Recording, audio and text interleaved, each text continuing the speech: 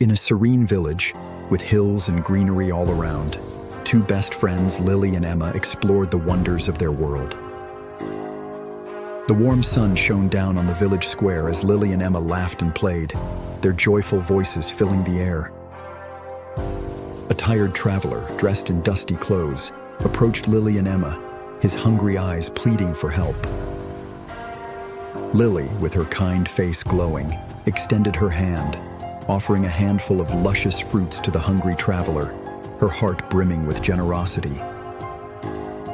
Emma hesitated, her small fingers tightly clutching her portion of fruits, unsure of whether to share or keep them for herself.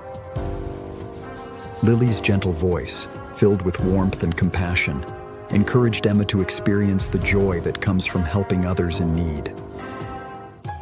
With a hint of reluctance, Emma divided her fruits and offered them to the traveler, her heart wrestling with the concept of sharing. The skies darkened, and heavy rains poured down, flooding the village, leaving many families without homes and food.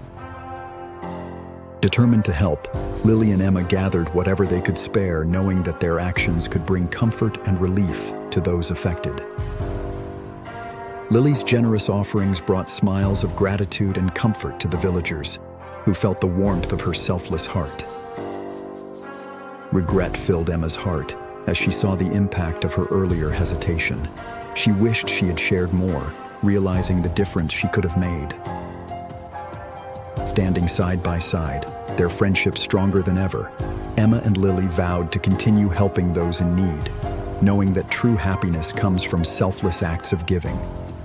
Note, this story can be adapted to suit the target audience of six-year-old children by simplifying the language, emphasizing the importance of sharing and helping others, and adding child-friendly imagery.